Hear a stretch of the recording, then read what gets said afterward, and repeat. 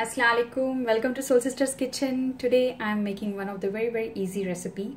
This is known as uh, potato fry and this potato fry really goes on well with uh, any dal or with curd rice also. So I'll just show you the ingredients which I'll be using for the potato fry. I have uh, sliced the potatoes in round shape just uh, as we do for the uh, potato pakoras. You can see this. And then I have uh, taken some turmeric powder, some red chili powder, some curry leaves, oil as required and uh, salt as per as taste and some coriander leaves for garnish. So let's start on the recipe. Bismillah. I have heated some oil and, and then in this I'll add directly add the potatoes.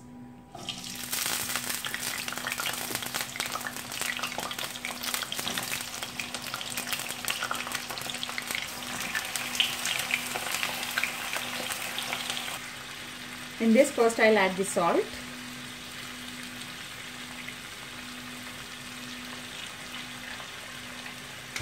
And then the turmeric and the red chili powder.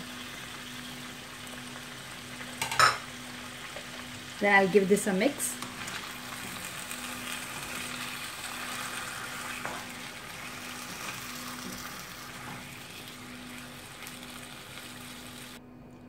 I'll sprinkle some water on this and on low to medium heat I'll cover and cook this for some time. Keep on checking in between.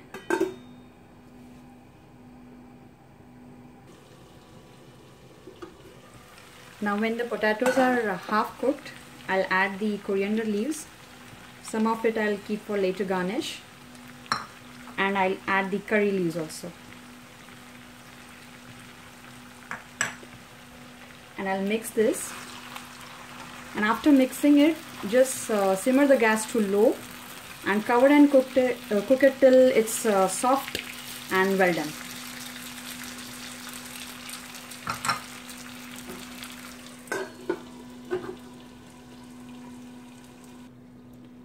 So now we'll check if it's yes it's well done you can see